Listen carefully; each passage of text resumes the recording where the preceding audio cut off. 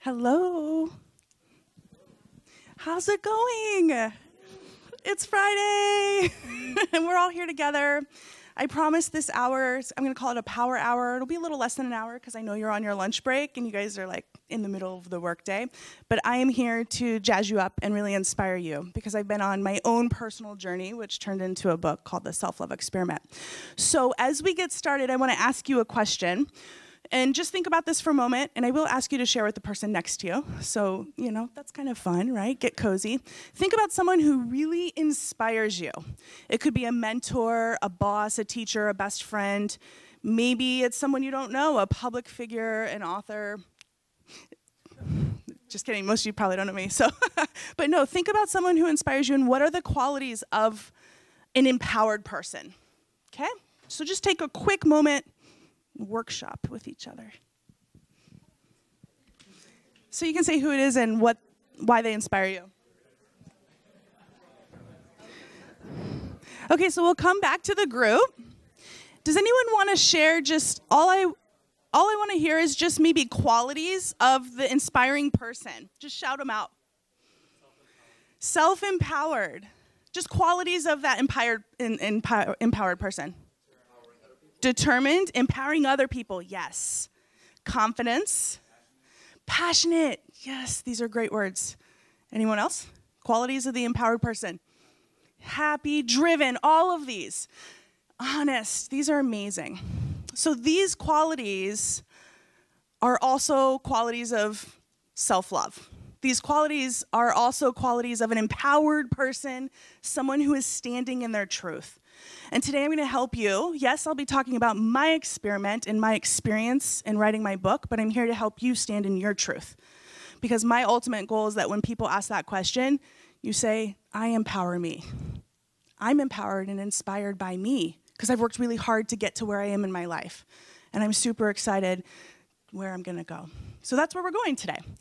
And so when you first hear the word self love, what are some of the things you guys think of? we're here today at a lunch break to talk about self-love. Anybody kind of think maybe it's selfish? You don't have to raise your hand, but I hear that a lot. Narcissistic, a little bit selfish, a little bit, uh, right? I used to think that. I used to think that for many, many years. In fact, I was at war with myself for almost three decades. I hated myself. I hated my body. I blamed my body for everything. I didn't make the dance team in high school. It was my body's fault. Uh, man didn't call me back whenever they didn't call me back. It was always me, my body to blame. And it didn't matter what size my body was. Because I used to be a triathlete. I would run half marathons every other weekend. I would participate in half Ironman triathlons. So I looked really healthy on the outside. I looked really fit, looked like I had it together. I haven't always been an author. I haven't always been talking to people and writing books. In fact, several years ago, all through my 20s, I was in corporate. I was in advertising. Anybody have friends in advertising? Especially here, right? And I was climbing the corporate ladder, living in Chicago, and it looked like I had it all together. I was dating a man who wanted to marry me, and I was making a lot of money, so much money I didn't even know what to do with it. Yet I was in a lot of debt, so much debt. Just wipe my sweat here. And I got to a point where I said, something's got to give because on the outside it looked like I had everything, but on the inside I was crying myself to sleep every single night. I was suffering from eating disorders, and my doctor diagnosed me with clinical depression. So it was actually a point in my life where we can't look and judge people and say by on the outside how they look, because everyone's having their own internal experience. And so I got to a place where I said, you know what, something has to change. And my inner voice, I said, Depression, why are you here? What could you possibly teach me? And my depression said, Follow your heart. You're sad because you're not being true to yourself. So I got up the courage to follow my heart, which meant leaving advertising, leaving Chicago, and moving back to Portland, Oregon, where I grew up, and finding my passion for writing and speaking and leading retreats. And through this process, I started to write books And I found the most joyous activity in the world. I found my life passion through writing.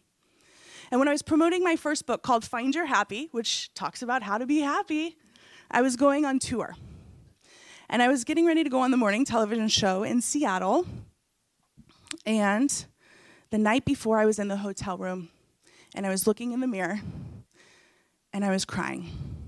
Because here I was going to go on TV and I was going to talk to people about how to be happy because I had been much happier than I was. I had worked through the addictions, I had overcome the depression. Here I was living my dream job, but I couldn't say one good thing about myself. I hated myself. I said, How happy can you be if you don't love yourself? And that's where the self love experiment was born. So, this was several years ago, but through the process, I started to do research. And, excuse me, what I discovered is that 90% of women hate their bodies. Ladies, 90% of us. And I discovered that 95% of people absolutely want to change something about themselves. So just take a look at the room. Almost all of us, we have something we dislike. And it gets worse. Six out of 10 people actually opt out of important activities because of a flaw or insecurity. So this is actually controlling our life, okay?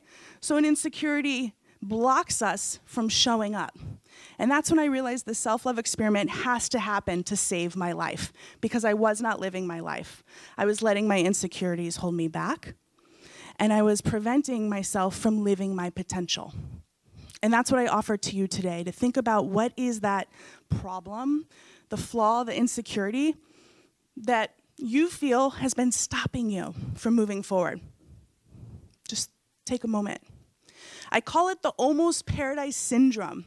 It's the when I lose the weight, I'll be happier. When I get the promotion, when I move to the city I really want to be in, when I get that X, Y, Z, then maybe my life can start. But guess what? Most of the time when we get that, we realize we're still not happy. I lost all the weight. I still wasn't happy. I got that dream job. Something was missing. And so, at the core of every single thing we want in our life is empowerment, self love. So, we chase it and we look for it outside of ourselves, but really it's inside, inside of ourselves. So, today I have a process I'm going to take you through. But I first want to talk a little bit about what the self love experiment actually is and how I got to learning how to love myself fully. Because truly, I stand here, up here in front of you, loving myself, every fiber of my body, even though I sweat in front of people all the time. It doesn't matter, I'm sitting on the couch and I sweat.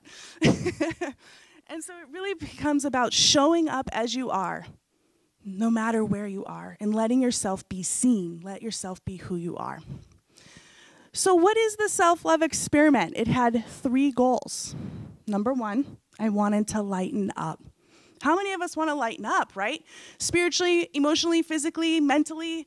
I was taking life so serious. I would go out to dinner or lunch with friends and I couldn't be present because I was so focused on how the next bite I took would put me over my calorie limit. My best friend called me and said, I'm getting married. I want you to be in the wedding. And my first thought, this is before the self love experiment, was not, I'm so excited for you. Yes, I can't wait to be in the wedding. It was, holy crap, do I have enough time to lose the weight? And I wasn't overweight at all then. So we have these things about ourselves, and really the war that's happening is inside our head. The inner critic is driving us. And that's why this book is out, and that's why I did the self love experiment. So, just as I take you through the process, think about where your insecurities have been blocking you.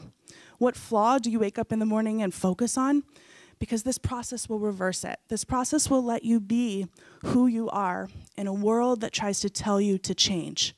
Because the world's gonna keep saying be smarter, richer, prettier, thinner, go chase whatever. But the real magic of the self love experiment and also being alive is to say, guess what? I'm not going to subscribe to that anymore because that's where our anxiety comes from. It's where the depression and the addictions come from. I was able to heal my depression and my eating disorders and find my life purpose and passion by discovering self love. So, the second part and the second goal of my self love experiment was to say only nice things about myself. Can I look in the mirror and say kind things? Yes, it's possible. What do you say to yourself when you look in the mirror? Let's turn it into a kind conversation. And then the third, the third goal was to see myself the way my dog does. Any dog lovers, animal lovers, cats? Do you ever notice how they see you and you're the most amazing thing in the world? I wanted to be the coolest, most beautiful, awesome person in the world because they don't judge you.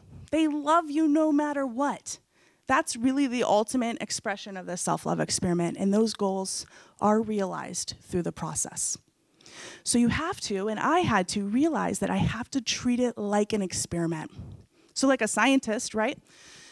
You go into it, you have some type of goal, but really it's the process. Each experiment that you do, each thing you try, is going to move you one step closer to possibly what it is you want. So instead of putting the expectation on each thing you do, you say, guess what? I learned from this, now I'm going to try something else. So the experiment is actually what I think we should try to do for our life. What if we looked at our life as an experiment and we took off the expectations? And we stopped saying, I have to do this to get here. I should do this. So much pressure we put on ourselves. So the experiment is super important, and I encourage you guys to look at how you can take take your weekend, go into the weekend and say, I'm going to make this an experiment. What am I going to do that's going to be more fun, more playful, and I'll be in the process. So, about three months into my self love experiment, I started to say, okay, this is working. I'm feeling good about myself, but not all the time. It was kind of fleeting, right? So, I was at my mom's house, and you guys know the coloring books where you can color. They were really popular a few years ago. They might still be popular. And mine had a mantra on it that said, everything happens for a reason. And it had butterflies and flowers. And I didn't know that that was a universal sign right there. But I was coloring and I was talking, and my mom and I, one of my best friends, talking about our dreams and goals. About three months into my self love experiment, and she started to bring up conversation about some friends of ours that were getting married, and it triggered something in me. Didn't even matter who they were. I started to cry. A woman in her mid 30s, very successful in her career, looks again like she has happiness, which I was happy. We'll talk about that in a second. How to not chase the happiness. I was crying.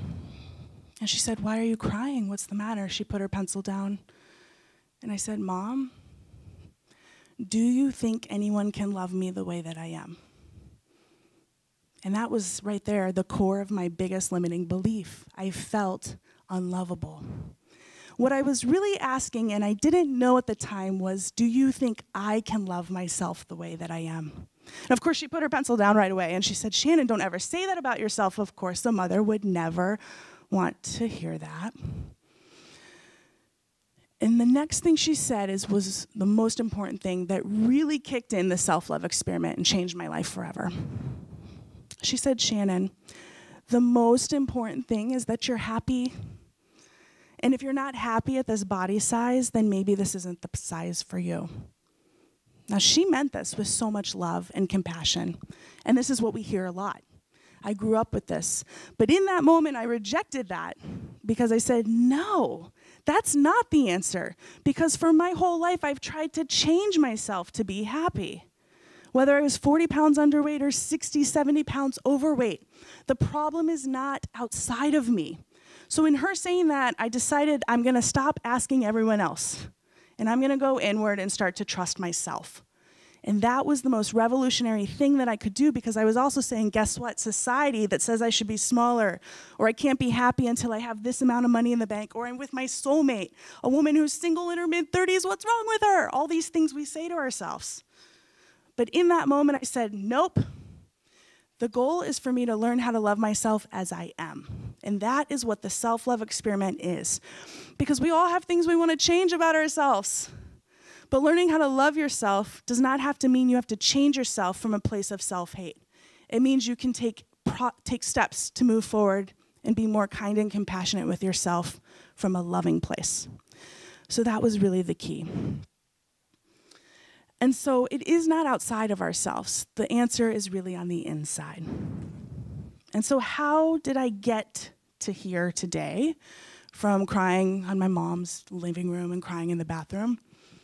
I did a self love experiment, and it was the most glorious thing I've ever done. As a writer, it turned into a book. I didn't know it was going to be a book when I started it, But this book healed me because I found self love. I stand up here loving every single fiber of my body and showing up as I am. And that is the key for all of you to show up through your insecurities, to show up through the things you think you need to change because you are enough as you are. So I have a process, three things that I'm going to share with you, and then we'll kind of do a Q&A, and uh, that's, that's how we'll go. So there's actually, the book is actually divided in different layers because there's layers to self love. So I take people through a process. The first layer is self care. Okay? When you guys hear self care, a lot of times, in the wellness industry especially, we hear drink your green juice, do your yoga, go to Soul Cycle, which is really fun, by the way. I just did it. so we get so wrapped up in having to be and do a certain, we stay in this box, right? The wellness community and just being taking care of yourself. I got to a point where I realized I am sick of yoga. I don't want any more 30 day hot challenge yoga challenges. I'm done with it. I don't want any more kale salad. and I said, What does self care really mean? And I discovered it's about joy. What brings you joy? And that is why, also, when I said a lot of us are chasing happiness, we never really get there because happiness is, an, is a feeling. It's something that will elude us, whereas joy is an experience. It's a, it's a process, but it's a way of living. So I truly believe that joy is the best barometer for success in any layer and any level of your life, whether it's a relationship, whether it's a career, whether it's trying to reach your goal of losing weight or going on your dream vacation. Joy. So, how can you put more joy into your life right now? So, I started to do that and I realized I wanted more nature walks with my dog. I wanted to join a spinning studio instead of to do in the yoga. And so I started to fill myself up. I started to cook more. I started to do things that felt good and made me feel alive. So ask yourself what makes you feel alive. That's the most caring thing you can do for yourself. If you love camping, get out and go camping. If you love animals, go adopt a pet. You know, there's things we can do to bring more joy into our life right now.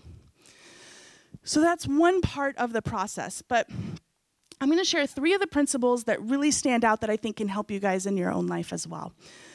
And at the back of the book, there's 15 principles, so I'm pulling out the highlighted ones.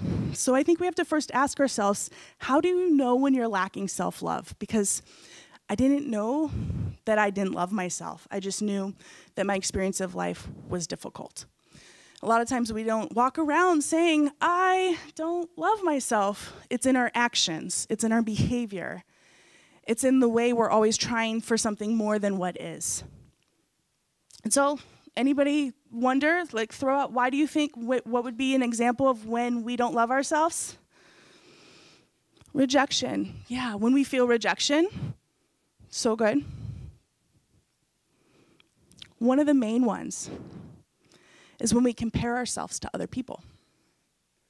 And I get I bet if we get really honest with ourselves, we've probably compared ourselves to someone else within the past 3 or 4 days, right? Especially at work. And then also when we compare ourselves to ourself.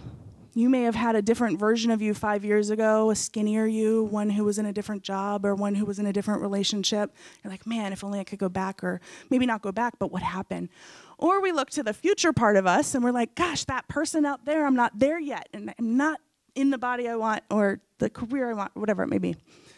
So we compare ourselves to other people, but we also compare ourselves to ourselves, and this is detrimental, but it's part of being human. You cannot get out of it. And so I'm going to share a process with you to help you if you fall into comparison, because judgment and comparison keeps us from love. Judging is a form of fear. It's a form of lack that I'm not enough, and what that person has is better and they're deserving and I'm not. And we go into this cycle where we spin out of control.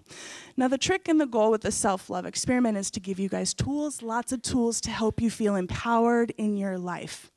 And one of the tools is to work through judgment. And I actually have a three part process that I'll share with you right now. Number one is to recognize when you're comparing yourself to other people, they are just showing you what is possible.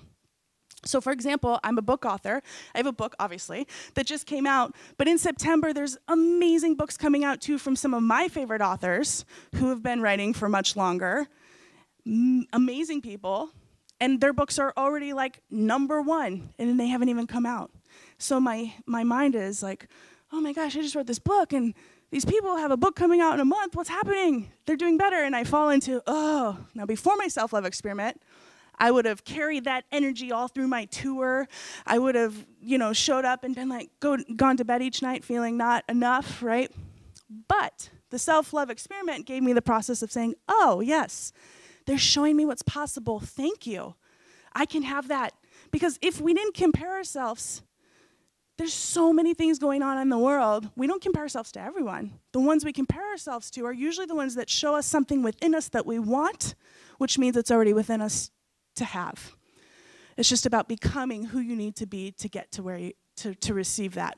And so to recognize, thank you. You're showing me what's possible. I see this can be an option for my life if I want it. And then number two is to immediately go into appreciation. Appreciation for your own life. So I turned my attention right away to, oh my gosh, I just I wrote a book and I get to go travel all over the country and I get to just celebrate self-love. How awesome. Also, celebrate the people who are showing up for you. Appreciate the things that are going well in your life because if we keep focusing on what's not going well, we stay stuck, we stay in lack. So I want you to take a moment right now to just think about what you are appreciative of and give thanks just for a moment. I won't ask you to share this time.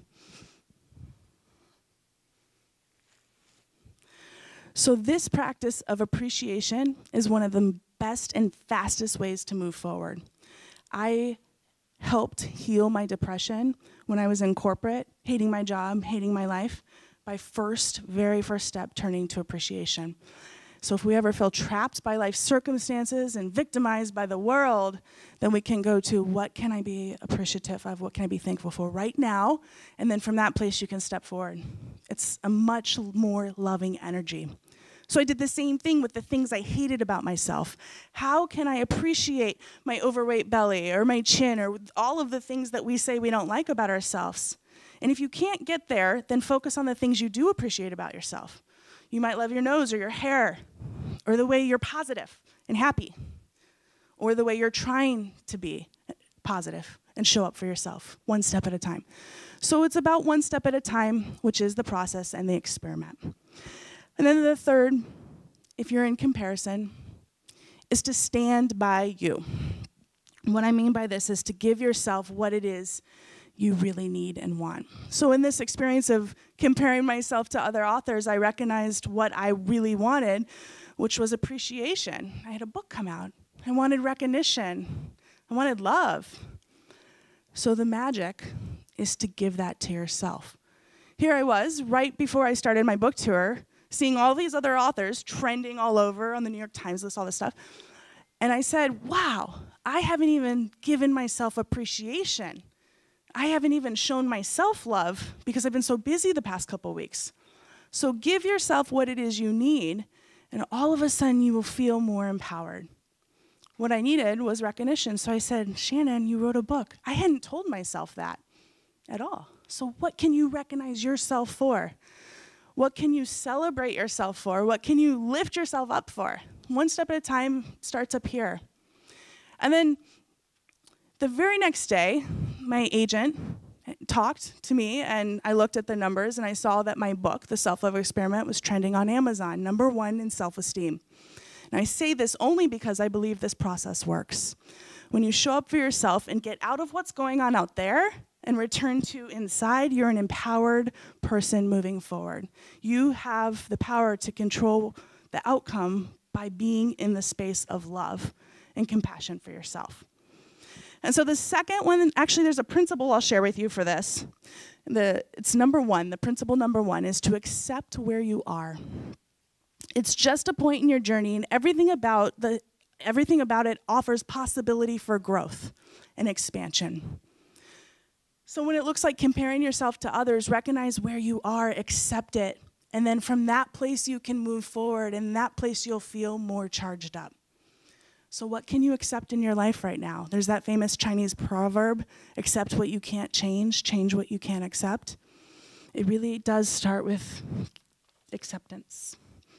Okay, so the second one I'll share with you today This is the barrier that blocks us and when we know we're out of self love. It's when we feel hopeless, or we feel like self love is selfish, or we feel like, how dare I care about myself? So here's the thing there's so much going on in the world right now disasters, political uproar. There's a lot of fear, terrorists. Like, it's crazy out there. And we can easily fall into feeling depressed and feeling hopeless. And I did this about two months before my book was coming out. There was so much. I was watching the news every day, which I suggest you don't do. It was crazy. I know we're in New York, but like, ah, it was crazy. And I said, How who am I to go talk about self-love? I have a book about loving yourself. How how dare anyone focus on them when there's the world that needs saving? And I caught myself right away because I said something that actually helped me in my own self-love experiment is that suddenly it made sense. To stop hating myself is to raise the vibration on the planet. To stop being negative to myself is to actually do my part to uplift the entire world. Because that's one less person hurting, that's one less person in pain, and that's one less person stuck in negativity. So we owe it to ourselves to show up for ourselves because from that place we can do so much more good. We can give more time, more energy, more love to those who need it. And that was a revolutionary change for me. And it turned into a principle in the self love experiment, which is when you heal yourself, you help to heal the world. You can make the most profound difference in the world by focusing on yourself first, to forgive yourself, to honor yourself, and love yourself. From that place, you make really empowered choices. Guess what? Hurt people hurt people. People who are in pain affect other people. When I was depressed, I wanted to help people. I started my life coaching practice. And it's hard to show up fully when you're stuck in your stuckness. You just can't we do it because we have big hearts. All of us in here have huge hearts. You wouldn't be in a self love experiment lunch if you didn't have a big heart. And so we show up and we say, you know what? I want to be even more empowered. And we do that by first being kind and compassionate to ourselves. So I want to invite you guys to ask yourself where have you been blowing yourself off? Where have you been saying, this, de- this deserves more attention? I'm not going to show up for me this is more important, I will skip that thing that is really important to me. My dreams don't matter, I'll just wait. Just ask yourself and maybe go into the weekend thinking about how can I show up for myself more? How can I be more present in my life and put more love into the equation right now? So I'm going to move into the third reason a lot of us actually do not feel self love without even realizing it. Anyone want to guess? No guesses. I'll just share self doubt and fear, right? When we're in self doubt, and what this looks like is we believe our insecurities are real. We believe the problems about us are actually the problems. So, Tony Robbins, you guys know Tony Robbins, America's life coach, huge motivational speaker. That's what he calls himself. he says problems need energy to grow. If you do not give your problems energy, then guess what? They won't, they won't manifest bigger and take up so much time and space in our life. What problem are you focusing on? Now, there's a difference between a problem that you look for the solution, right? In your work, especially with what you guys do here, there's a part of showing up, but going immediately to the solution is the key, instead of festering in the problem and letting it overcome you. So, the problems that we have in our life, the insecurities we have, the fears we have, often look like self doubt. I don't feel good enough. I don't feel worthy enough. For me, I didn't feel lovable. And so ask yourself what self doubt in your life is blocking you from moving forward. So, self doubt, here's the thing about it it shows up in every layer of our life. So, I am up here and I truly do love myself and I'm excited about the possibilities. But self doubt a couple weeks ago before I left for my tour came roaring in. A lot of what was going on in the world, right? And I sat there for a moment. I said, What's going on? This is like crippling self doubt. And for a couple minutes, I sat there. Before my self love experiment, I would have let it control my outcome. I may have even canceled some events. I may have just like hidden in my bed and covered up or eaten lots of ice cream, like all these things we do overwork, overspend, overeat, over exercise. We over the situation. I invite you guys to feel what comes up. So I sat there with my self doubt, and I'm going to invite you guys to do this too. Put your hand on your heart if you want, the right hand. Anytime you feel self doubt, just return to yourself in the moment. Put your hand here and you say, Hello. Hello, you, right? And you can say, What are you here to show me? The same, the same way that I asked my depression, What are you here to show me? And my self doubt came through. And it said, Are you sure? Are you sure you don't want to stay small? because self doubt wants us to stay small. Fear and our negative voice wants us to retreat back to what is comfortable and what we know. It's predictable, it's manageable, it's something we know. Whereas anytime you're growing, anytime you're dreaming, and anytime you're stepping into the next level of your life, your self doubt will get louder. And I said, in that moment, with my hand on my heart, quickly, it said, Are you sure you want to stay small? And my heart roared through and said, Are you kidding? You were born for this. Every single one of you was born for this to work through that self doubt, to step forward and be empowered and choose you. Your life is your masterpiece. We hear this, right? We hear this, but I want you to really feel this anytime you fall into fear, insecurity, self lack of self-worth, or I'm not good enough, or gosh, that person has what I want, return to right here. Put your hand on your heart, say I love me, or I'm doing the best I can each day, and that is enough. One step at a time, we can get there. And so, what I offer to you guys with this principle, this self love experiment principle number three, is we get what we focus on. So, are you focusing on how it's not going to work? How everything you've tried before is not moving forward? Then that's going to keep creating what we want. Are you focusing on the problem? It's growing. Take your attention off of it and focus on what you truly want love, empowerment, acceptance, and you'll start to see the results in your life much more clear. So, I'm going to offer to you guys, as we close out the little speech here, my wish for you is that next time someone asks you who empowers you, you immediately say, you know what? I'm empowered by me.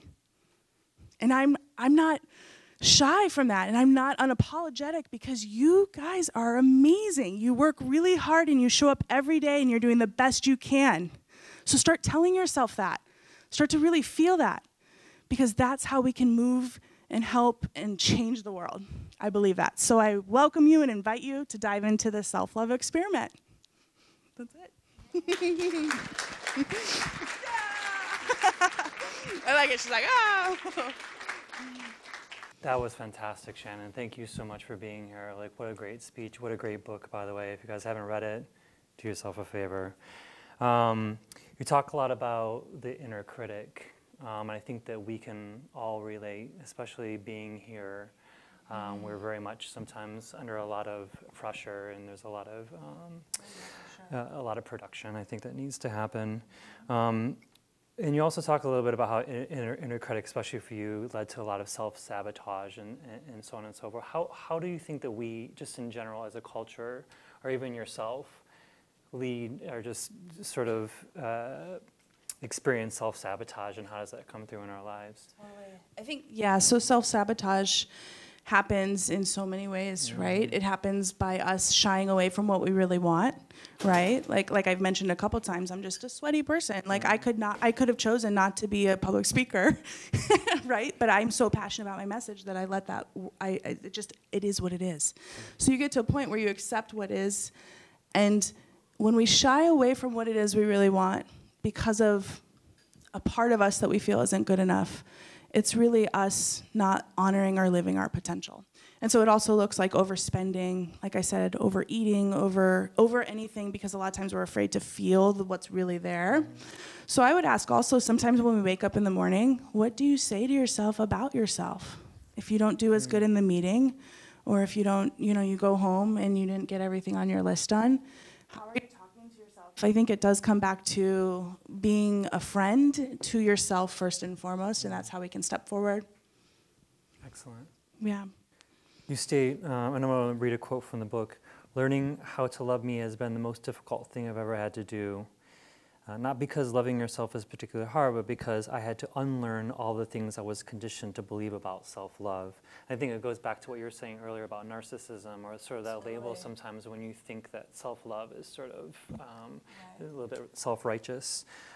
How are those green, uh, how are those beliefs sort of ingrained, uh, and, and how does that reflect on what self love or self what self care means for us? Right, and I think that's key. Um, it's like so many of us are kind of like chasing the let me see the, the yeah, this the one right yeah so in the we're we're chasing this feeling right? And that's really what i was talking about in the book.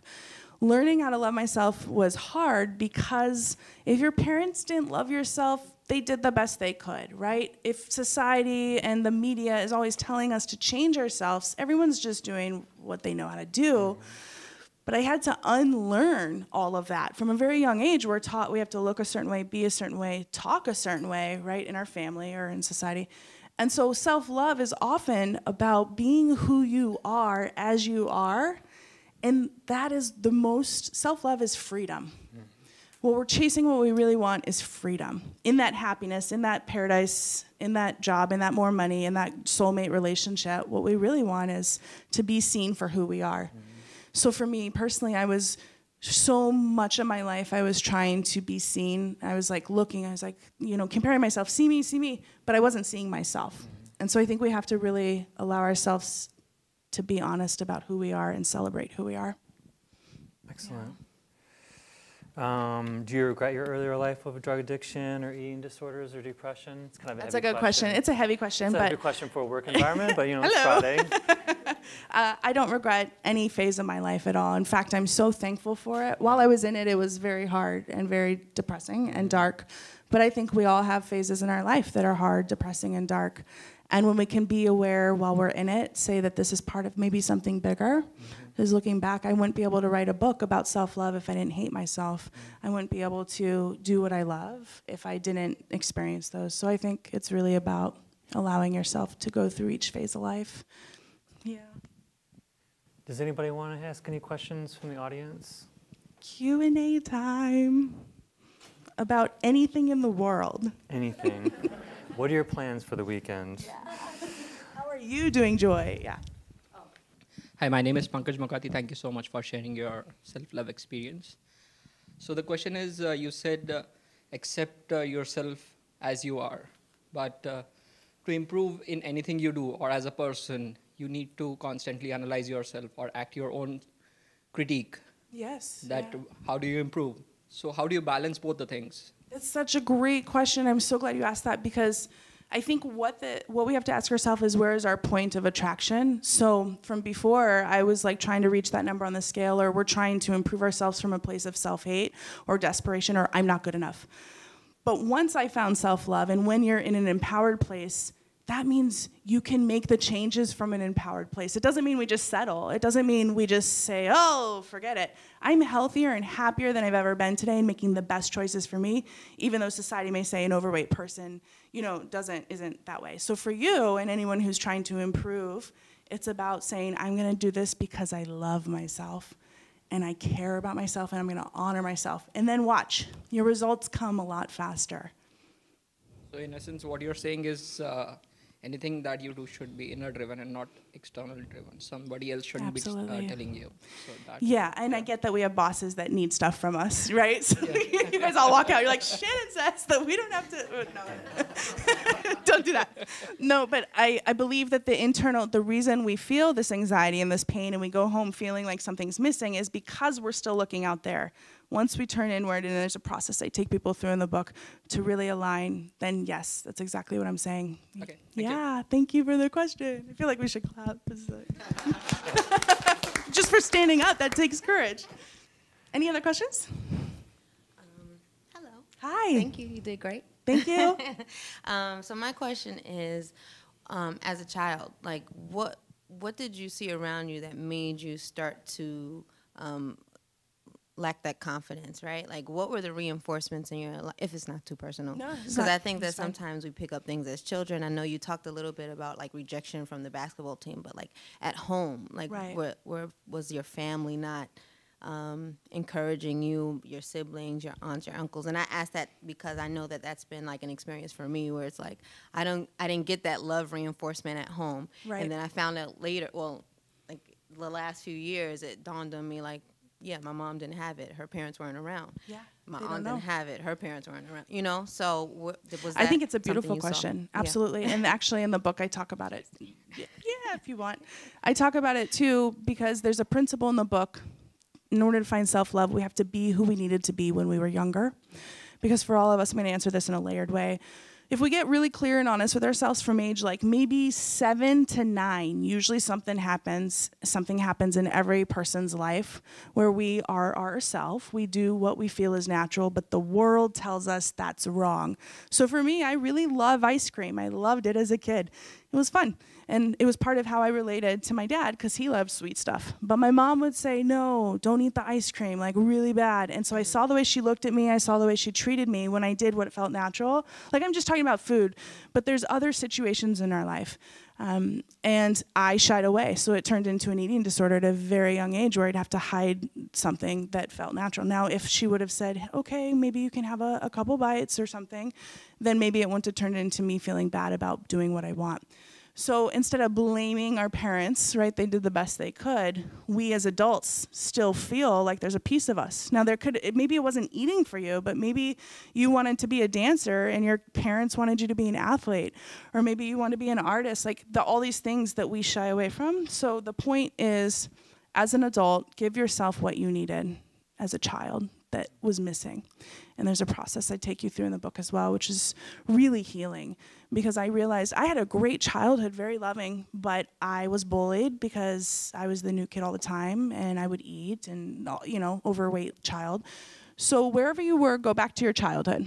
Go back to that point where you first realized, oh my gosh, I was just being me and the world said I got made fun of for being me or, you know, and then give yourself as an adult that love, that respect and attention. And then forgive your parents because they do the best they can and they don't even know better. And we can do better for us. Thank you. Good question. Did that answer it? Any Can other you- can you- questions? Can you give a bad answer?